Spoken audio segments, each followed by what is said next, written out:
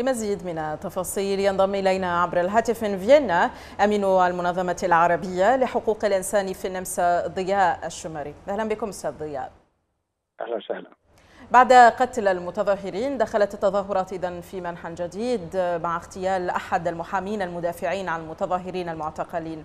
كيف تقيمون هذه الحادثة وانعكاساتها على الواقع الحقوقي والإنساني في العراق؟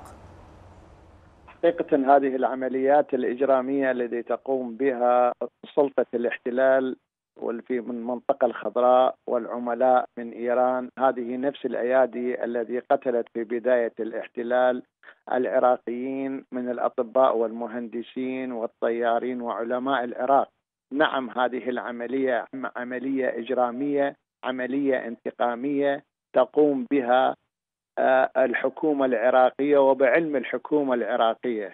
من قتل من من قتل جبار كريم أبو آية هو يتحمل المسؤولية لأن لا يقول إنه هذه مسؤولية من من من كلفني، الذي كلفه يتحمل المسؤولية والقاتل ويتحمل المسؤولية، هذه العملية الإجرامية، بالنسبة للحقوقيين الموجودين في العالم مستائين من العملية ليست بقتل المحامي وإنما حتى قتل المواطنين العزل الموجودين في المحافظات والاعتصام وفي ساحات الاعتصام. هذه هذه العمليات الاغتيالات المباشرة الذي تحدث من قبل الجيش والشرطة.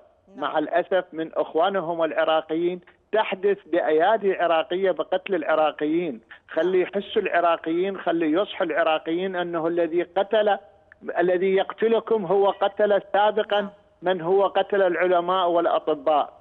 ذولا ناس منتقمين من الشعب العراقي. في هذا السياق أستاذ ضياء وبناء على المواثيق الدولية والقوانين المحلية فإن المحامي يتمتع بحصانة. ماذا يعني اغتيال أحد المحامين على يد من يعتقد أنه من عناصر الميليشيات وهو الذي كان تبنى أن يدافع عن المتظاهرين المعتقلين بالمجان؟ المحامي المحامي وفي كل العالم وفي كل وفي كل المعترفات الدولية وفي كل المواثيق الدولية محمي دوليا من مقاضاه أو من الدفاع عن حقوق ناس أو حقوق حتى المجرمين، المحامي هو هو محصل لأنه المسألة القانونية والحقوقية والإنسانية تسمح للمحامي أن يدافع عن هذا الشخص أو ذاك، بالوقت الحاضر في العراق من يقوم بحماية المتظاهرين هو يعرض حياته للخطر. هذا معنى إن الحكومة العراقية هل تتوقع معنى ذلك أنك تتوقع أن هذه هي الرسالة التي أريد إرسالها للمتظاهرين من خلال اغتيال المحامي جبار البهادلي نعم. نعم هي هذه ليست الرسالة الأولى وإنما الرسالة اللي حدثت بقتل المتظاهرين المتعمد اللي, صارت في الديوانية قتل شاب في الديوانية وكان لا يحمل شيئا في أيديه. يعني لا هو مسلح ولا يحمل شيء يعني وبملابس صيفية يعني كان. هذا القتل قتل متعمد لدحر المتظاهرين. هم لا يتوقعون أنه الشعب العراقي إذا ثار لا يمكن أن يقف بوجهه أي شيء. إحنا من هنا في أوروبا وخاصة الجالية العراقية ستقدم رسالة إلى الاتحاد الأوروبي بخصوص المتظاهرين وانتهاك حقوق الإنسان بالعراق بالوقت الحاضر وخصوصا نعم. القتل المحامين الذين يدافعون عن حقوق الشعب العراقي. أستاذ أستاذ ضياء إذا تحدثنا عن هذه القضية تحديدا قضية اغتيال المحامي جبار، كيف يمكن متابعتها وما سبل نجاح ذلك؟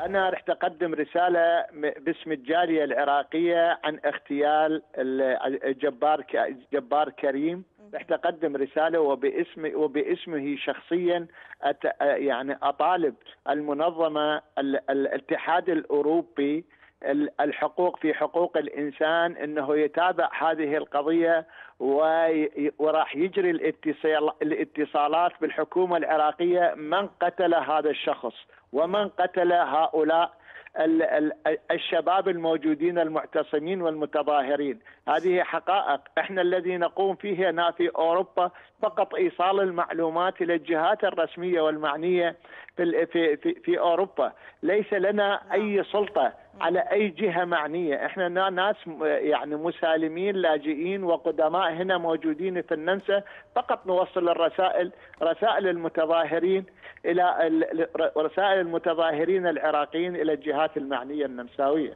أشكرك جزيل الشكر أمين المنظمة العربية لحقوق الإنسان في النمسا. ضياء الشمري كنت معنا عبر الهاتف من فيينا.